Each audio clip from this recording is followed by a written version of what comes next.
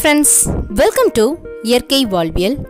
இன்றைக்கி நம்ம மாடி தோட்டத்தில் என்ன பார்க்க போகிறோன்னு பார்த்தீங்கன்னா வெந்தயக்கீரை வந்து எப்படி வளர்க்குறது அது எப்படி பராமரிக்கிறது அதே மாதிரி இந்த லீவ்ஸ் வந்து மேத்தி லீவ்ஸ்னு சொல்லுவாங்க. இந்த கஸ்தூரி மேத்தியை வந்து நம்ம சாப்பாட்டில் பயன்படுத்தணும்னா அது ரொம்பவே வந்து டேஸ்ட்டு கொடுக்கும். அதேமாதிரி ஸ்மெல்லும் பார்த்திங்கன்னா ரொம்பவே சூப்பராக இருக்கும். மோஸ்ட்லி வந்து கிரேவி ஐட்டம்ஸ்க்கு அதேமாதிரி தந்தூரி ஐட்டம்ஸ்க்கு எல்லாமே பார்த்திங்கன்னா இந்தமாரி மேத்தி லீவ்ஸ் தான் வந்து அது போட்டு செய்வாங்க. ரொம்பவே பார்த்திங்கன்னா டேஸ்ட்டாக இருக்கும். வெந்தயக்கீரை பார்த்தீங்கன்னா வளர்க்குறது ரொம்பவே ஈஸி ஆனால் சில பேர் பார்த்தீங்கன்னா எனக்கு வெந்தயக்கீரை வந்து ஒழுங்காகவே வளர மாட்டேங்குது. அது ஒரு ஸ்டேஜ் வரைக்கும் வருது அதுக்கப்புறம் அழுகி போயிடுது அது சாஞ்சு போயிடுது அப்படின்னு சொல்லுவாங்க. ஸோ அது எப்படி நம்ம மெயின்டைன் பண்ணணும்? அது எப்படி வந்து நம்ம க்ரோத் வந்து அழகாக கொண்டு வரது அதை நம்ம வந்து கஸ்தூரி மேத்தியை எப்படி யூஸ் பண்ணுறது அப்படின்னு சொல்லிட்டு எல்லாமே நான் அந்த வீடியோவில் வந்து டீட்டெயிலாக சொல்கிறேன் லாஸ்ட் வரைக்கும் ஸ்கிப் பண்ணால் பாருங்கள் அப்போ தான் வந்து ஃபுல் டீட்டெயிலாக தெரிஞ்சுக்க முடியும். நம்ம சேனலுக்கு நீங்கள் புதுசாக இருந்தீங்க அப்படின்னா நம்ம சேனலை மறக்காமல் சப்ஸ்கிரைப் பண்ணிக்கோங்க. கூடவே இருக்க அந்த பெல் ஐக்கானையும் கிளிக் பண்ணுங்கள் வாங்க இப்போ மேத்தி லீவ்ஸ் எப்படி ரெடி பண்ணுறது அப்படிங்கிறத பார்க்கலாம். இப்போ நீங்கள் வெந்தயக்கீரை வளர்க்கறதுக்கு முன்னாடி மெயினாக ஒரு விஷயம் என்ன அப்படின்னு பார்த்தீங்கன்னா வெந்தயம் வந்து வீட்டில் பழசாக இருந்துச்சு அப்படின்னா அந்த வெந்தயம்லாம் நீங்கள் போட வேண்டாம். போட்டிங்கன்னா அதோட க்ரோத் வந்து அந்தளவுக்கு இருக்காது. ஸோ கொஞ்சம் புது வெந்தயமாக இருந்துச்சுன்னா நீங்கள் அதை எடுத்துக்கோங்க.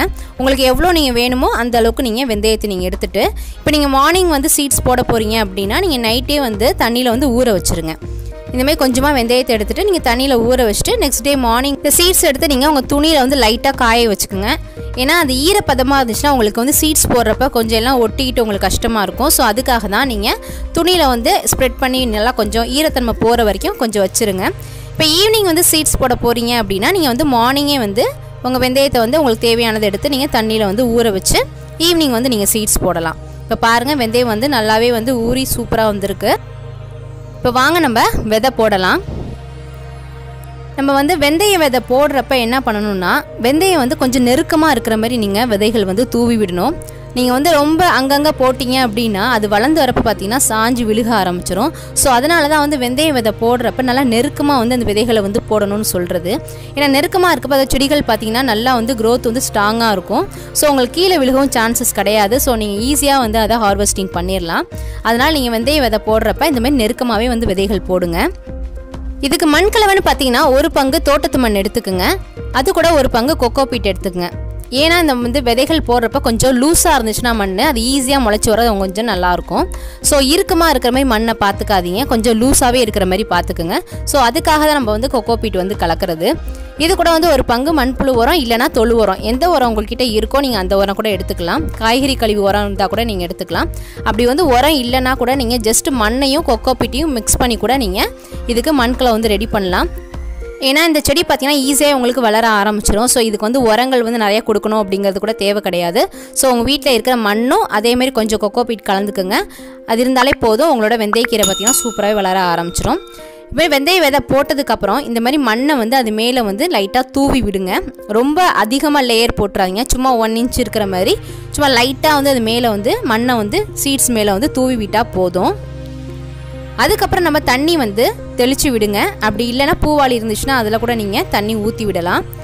ஃபோர்ஸாக நீங்கள் தண்ணி ஊற்றுனீங்கன்னா சீட்ஸ்லாம் உங்களுக்கு மேலே வர ஆரம்பிச்சிரும்.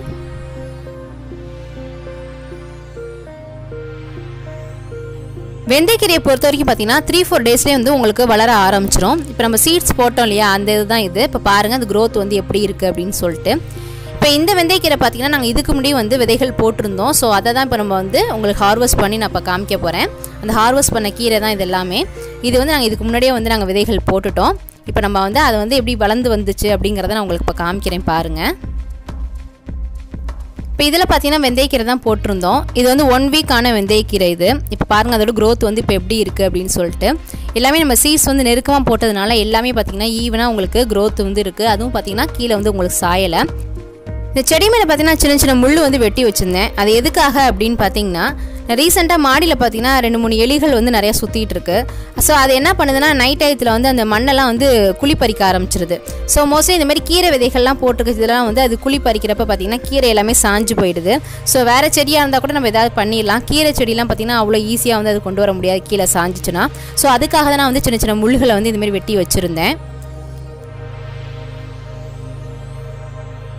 இப்போ கீரை வந்து நல்லாவே வளர்ந்து வந்துட்டுருக்கு. இது வந்து ஒரு டென் டேஸ் இருக்கும். நல்லாவே பார்த்தீங்கன்னா க்ரோத் சூப்பராக இருக்குது நம்ம அது ஒரு ஃபிஃப்டீன் டேஸில் பார்த்தீங்கன்னா இதை ஹார்வெஸ்ட் பண்ணிடலாம். இப்போ பாருங்கள் இப்போ ரெடி ஆகிடுச்சு ஹார்வெஸ்ட் பண்ணுறதுக்கு ஏன்னா இலைகள்லாம் பார்த்தீங்கன்னா நாலு நாலு இலைகள் வந்து வர ஆரம்பிச்சிருச்சு. ஸோ இப்போ நம்ம வந்து தாராளமாக வந்து கீரைகளை வந்து ஹார்வெஸ்ட் பண்ணலாம். இந்த கீரையை ஹார்வெஸ்ட் பண்ணுறப்ப பார்த்தீங்கன்னா நம்ம அதை வேரோடையே இருந்து எடுத்துடலாம். இந்த வெந்தயக்கீரை வந்து நம்ம புளிக்குழம்பு வச்சோன்னா ரொம்பவே டேஸ்ட்டாக இருக்கும். அதேமாரி இதை வந்து பொரியல் செய்யலாம். அதேமாரி இதை நம்ம கூட்டு செய்யலாம். ரொம்பவே டேஸ்ட்டு கொடுக்கும். இது ஹெல்த்துக்கும் பார்த்திங்கன்னா ரொம்பவே நல்லது.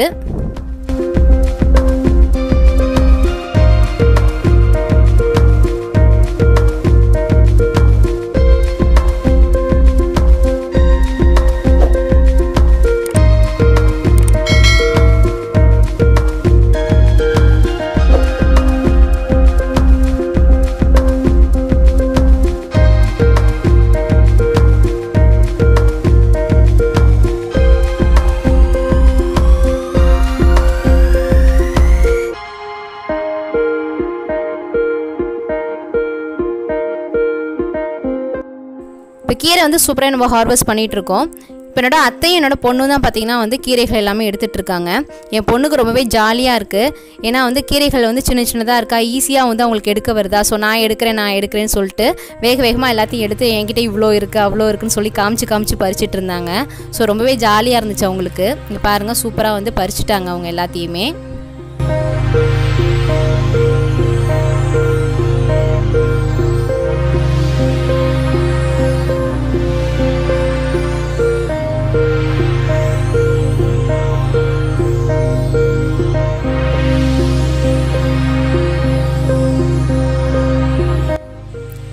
வெந்தயக்கீரை எல்லாமே ஹார்வெஸ்ட் பண்ணியாச்சு. இப்போ இது பார்த்தீங்கன்னா நாங்கள் வந்து கஸ்தூரி மேத்தியாக வந்து யூஸ் பண்ணுறதுக்காக தான் இந்த வெந்தயக்கீரை இப்போ நம்ம ஹார்வெஸ்ட் பண்ணது. இப்போ நம்ம விதைகள் போட்டோம் இல்லையா அந்த இது வந்து கீரைகளாக எடுத்துக்கலாம் அப்படின்னு சொல்லிட்டு இப்போ நாங்கள் விதைகள் போட்டது. அதை தான் உங்களுக்கு ஸ்டார்டிங்கில் காமிச்சிருப்பேன். இப்போ பாருங்கள் ஃபுல்லாகவே நம்ம ஹார்வெஸ்ட் பண்ணி முடிச்சாச்சு. எவ்வளோ வெந்தயக்கீரை இருக்குது பாருங்கள் இதை நம்ம வந்து எப்படி வந்து கஸ்தூரி மேத்தியாக யூஸ் பண்ணலாம் அப்படிங்கிறத நம்ம இப்போ பார்க்கலாம் வாங்க.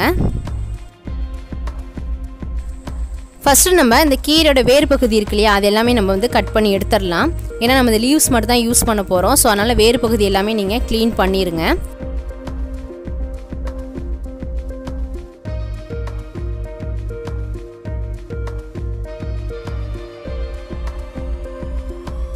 நம்ம வேர் பகுதி எல்லாமே வந்து இப்போ எடுத்தாச்சு. இப்போ பாருங்கள் கீரையாக நம்மளுக்கு சூப்பராக கிடச்சிருக்கு. இப்போ நம்ம இதை நல்லா தண்ணியில் வந்து ஒரு சிக்ஸ் செவன் டைம்ஸ் வந்து நல்லா வாஷ் பண்ணி எடுத்துக்கலாம். ஏன்னா அதில் வந்து சின்ன சின்ன மண் இருக்கும் இல்லையா? நம்ம வந்து வேர் வேரோட தான் வந்து செடிகளை வந்து எடுத்துகிட்டு வந்திருக்கோம். ஸோ அதனால் வந்து அது மண் இருக்கும். ஸோ அதனால் வந்து நல்லாவே வாஷ் பண்ணி எடுத்துக்குங்க.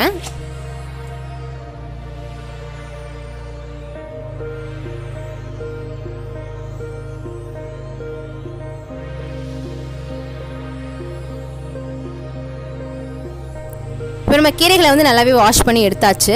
இப்போ நம்ம காய வைக்கிறதுக்காக சின்ன கிளாத் எடுத்திருக்கோம். அதில் வந்து இப்போ வாஷ் பண்ண கீரையை வந்து நீங்கள் நல்லா ஸ்ப்ரெட் பண்ணி காய வச்சுருங்க. இதை நீங்கள் வெயிலையும் காய வைக்கலாம். இல்லை நீங்கள் வீட்டுக்குள்ளே காய வைக்கிறீங்க அப்படின்னா ஃபேன் கீழே கூட நீங்கள் இதை காய வச்சு எடுத்துக்கலாம்.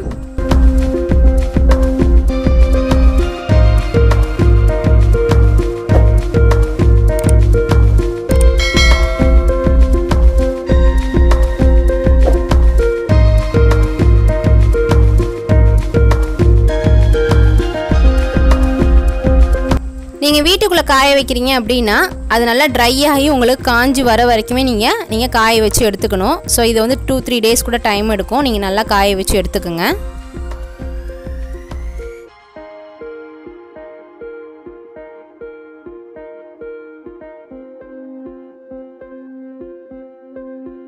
இப்போ பாருங்கள் நம்மளோட கஸ்தூரி மேத்தி வந்து சூப்பராகவே ரெடி ஆயிடுச்சு அவ்வளோதாங்க ரொம்ப ஈஸியான வேலை. நம்ம வீட்டிலே பார்த்தீங்கன்னா வெந்தயத்தை எடுத்து நம்ம ஊற வச்சு அதை நம்ம கீரைகளாக வளர்த்தோம். இப்போ பாருங்கள் அது கஸ்தூரி மெத்தியாகவும் நம்மளுக்கு ரெடி ஆயிடுச்சு இனிமேல் வந்து கஸ்தூரி மேத்தி வாங்கணும் அப்படின்னா நீங்கள் வந்து கடைக்கெல்லாம் போக தேவையில்லை. நம்ம வீட்டிலே பார்த்தீங்கன்னா ஆர்கானிக் முறையில் கொடுக்குற உரங்களால் நம்மளுக்கு சூப்பரான கஸ்தூரி மேத்தி வந்து நம்மளுக்கு கிடச்சிருச்சு.